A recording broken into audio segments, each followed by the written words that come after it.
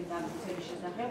ქალაქ დუბის მუნიციპალიტეტის საკრებულოს 2015 წლის თავმჯდომარის არჩევის შესახებ მოხსენებით ნატალია. ქალაქ საბამისა და არჩევის შემდეგ იქნება ბატონი ახლა გოგლა. კოლოს ზარქუას წერილობითი განცხადება წარმოდგენილი და ის და ბატონი ნიკოლოზ ზარქუა გამოდის იურიდიულ სამადადო ადამიანის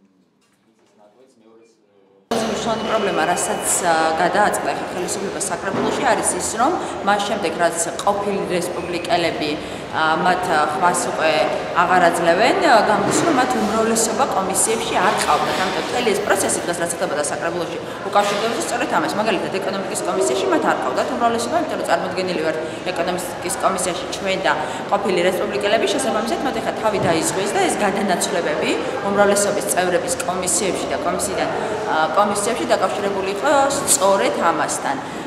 ეს კიდევ ერთხელ ადასტურებს იმას, რომ საგრებულო და ზოგადად ადგილობრივი თვითმმართველობა ორიენტირებული არ არის მოქალაქეების და ზოგადელების ინტერესებზე და ორიენტირებულია იმაზე, რომ რაც შეიძლება მეტად იყოს კონტროლის ქვეშ ადგილობრივი თვითმმართველობა. ისიც გადანაწილდნენ სხვადასხვა კომისიებში და შეივსო კომისიის შემადგენლობა რეგლამენტის საფუძველზე. ეს განცხადებები რატო დაწერეს, რამ გამოიწვია თქვენ? ეს ცვლილებები გამოიწვია საბოლოო ჯამში დაკავშირებულია საგრებულოს სამჯომარის არჩევასთან, შემდეგ საგრებულოს სამჯომარის მოადგილის არჩევასთან, იქ ამ ცვლილებები გამოიწვია შესაბამის კომისიებში და ამ ცვლილებებმა გამოიწვია შემადგენლობებში ცვლილებები თავისთავად.